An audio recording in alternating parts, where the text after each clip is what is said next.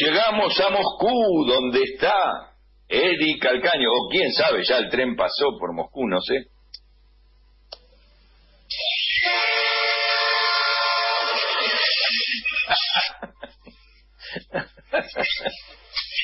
Ahí está pasando.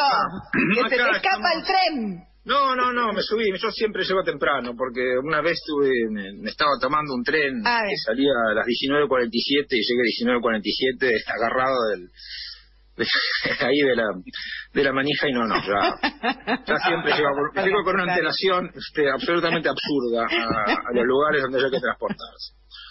Porque, no, no, no, nunca, nunca es bueno, pero sí, así como la radio es el más bello medio de comunicación, para mí el tren es el más bello medio de transporte. Eh, creo también que el tren es una, una marca de la civilización. Eh, los grandes países tienen grandes sistemas ferroviarios y los tienen orientados para fortalecer y desarrollar todo su territorio. Eh, en el caso de la Argentina, en esa construcción radial de los ferrocarriles, la única intención fue justamente la de llevar materias primas al puerto y de ir al extranjero. Pero bueno, ya de a poco iremos cambiando eso. Y por último, el tren también nos permite este, tanto intercambiar con personas que, uno no conoce, eh, disfrutar de los paisajes, conocer los territorios y también un poco adormecidos en una duermevela de, del traqueteo del ferrocarril, eh, dejar vagar los pensamientos y poder, como decía antes, ejercer libremente la melancolía. Así que estamos entre, acá ya pasé el tren transiberiano, este, eh, y acá ya estoy en el Moscú-Buenos Aires, con lo cual mm, estoy tranquilo y puedo hacer la columna antes de ir al coche al restaurante.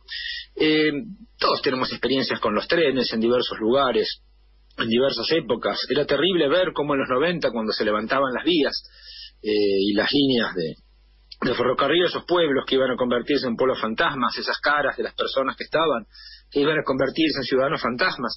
Y ahora cómo, cómo se ha recuperado toda esta cuestión y, y cómo se ha recuperado el tren, porque la, pocos saben que la segunda empresa más, más cuantiosa en personal de la Argentina, eh, después de IPS, es SOFSE, que es una empresa del Estado eh, que maneja 8.000 kilómetros de vía. La Argentina llegó a tener 42.000 kilómetros de vía, una de las redes más extensas, solo comparable con dificultades y extensiones a la de la ex Unión Soviética, hoy Rusia.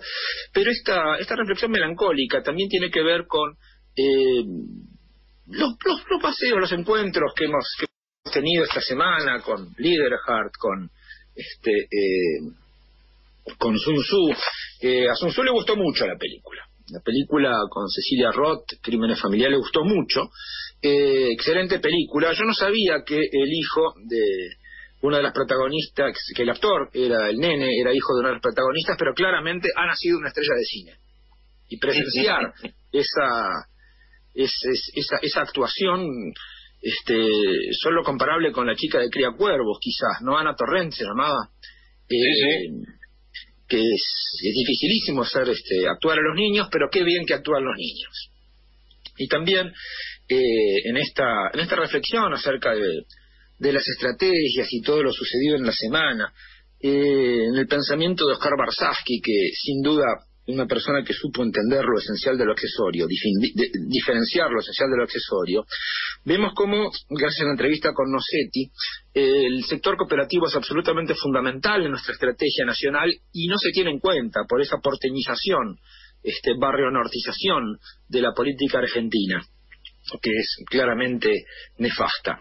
Y de ahí la necesidad de tener una estrategia de, como estamos claramente en una desventaja en, la relación de fuerzas, eh, esa estrategia tiene que ser indirecta. Eh, si es directa, va a ser comparable en términos políticos, por suerte, y no reales, a las grandes masacres de la Primera Guerra Mundial. En la batalla del Somme, los británicos perdieron 60.000 soldados en media hora. ¿Por qué? Porque atacaron derecho. Y bueno, mm, eso no se hace. Y en política tampoco. Cuando uno está en una relación de fuerzas desfavorable, hay que utilizar la aproximación indirecta, que es la que usó San Martín, como dijimos, para, para conquistar Lima y Santa Rosa de Lima, porque no nuestra, nuestra santa, eh, y, y también seguir con lo que decía Sun Tzu de la relación entre conducción y cuadros auxiliares de la conducción y militantes, para decirlo en términos peronistas, en la cual la mutua confianza es también lo que da la fuerza al movimiento y es lo que nos permite llegar a ciertos lugares de determinada manera.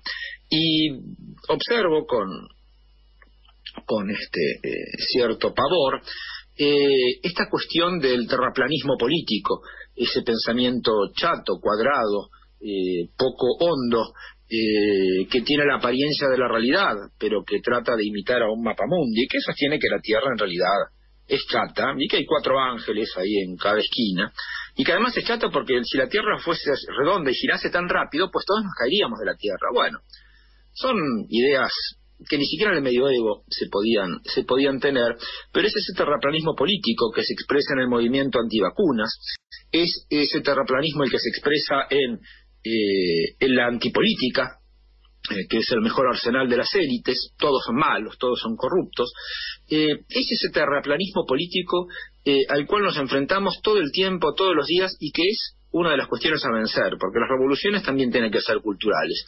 Uno nunca sabe si el tema de la cultura viene antes, como en la enciclopedia, con la Revolución Francesa, o si viene después, como puede ser todo el movimiento intelectual del cual, por ejemplo, Kandinsky fue uno de las figuras señeras después de la Revolución Rusa, pero la cosa es que tenemos que estar en estado de cultura permanente. Eh, porque si no estamos en estado de cultura, no estamos en estado de sociedad, no somos iguales no, no podemos llegar a aspirar a ser iguales, y volveríamos a lo que Hobbes llamaba el estado de naturaleza, la guerra de todos contra todos, el hombre, lobo del hombre, eh, y en ese caso sí llegaríamos a la barbarie. Entonces cuando uno ve, cuando uno escucha, eh, cuando uno constata eh, que hay gente que dice que hay demasiado Estado, que la cuarentena es un obstáculo para las libertades públicas, claramente lo que propugnan es la guerra de todos contra todos. Y eso es gravísimo y es inadmisible. Y a veces pareciera que la Argentina, la sociedad argentina, la sociedad política argentina estuviese orillando ese tipo de reflexiones. Y eso este, hay que pensarlo, hay que pensarlo y ponerle nombre. Cuando uno piensa las cosas, cuando uno les pone nombre, eh, también puede quizás influir sobre el curso de los acontecimientos. Así que acá observando la campiña europea, pienso que en estos viajes no he entrevistado a muchas mujeres y, va a ser tiempo de ver a la, a la parte más interesante e inteligente de la humanidad, en particular sobre un tema que voy a tratar de desarrollar la semana que viene, que es el tema de la inmortalidad. Hay un señor llamado Harari que eh, es firme invitado a todos los foros de, Davos y etcétera, que dice que ahora que las grandes ideologías han caído, eh, lo que queda para mostrar la virtud del, pensamiento único y del régimen liberal es alcanzar la inmortalidad. ¿no? Sostiene que hay más gente que se muere de diabetes que de hambre en el mundo, cosa que no demuestra y por cierto sorprendente, como si fuera comparable además, pero sin entrar en ese terreno de discusión, puesto cuando el terreno lo elige el adversario, las chances de perder son fuertes, como dice Sun Tzu, quisiera también eh, ya próximo ir eh, acercándome al, coche comedor, disculpe señora, estoy pasando por el pasillo, eh, recordar a dos grandes de la radio argentina, que preanunciaron de algún modo lo que iba a suceder. Me refiero al programa de Lucy en el cielo con Capuzotos, de Peter Capuzotto, que eh, tenía una, secuencia que era el noticiero Gorila, que era muy bueno, muy bueno, muy, muy delante, eh, y que mostraba desnudadamente todo lo que piensan los gorilas, eh, piquete en el puente Purredón, eh, van a asaltar a todos los coches que terminan en impar, ¿no? Entonces, la, cosa, la cosa del terror permanente, del miedo, de fomentar el miedo, que es una, de las pasiones humanas básicas, eh, y que el coraje consiste precisamente en dominar los miedos. y el otro me voy a referir a Alejandro Dolina, que nos marcó para siempre a toda la generación con la venganza será terrible, cuando dijo hace un tiempo que aquellos que dicen que los políticos son todos iguales son como los analfabetos que dicen que los libros son todos iguales. En realidad lo que no saben es leerlos. Pero por suerte en el laberinto y en este tren tenemos una, una biblioteca que quizás es la forma más excelsa del laberinto. Eh, me voy a comer una, un jamón con rusa acá en el coche restaurante. Les agradezco mucho. Hasta la semana que viene, donde nos encontraremos con grandes amigas. Muchas gracias.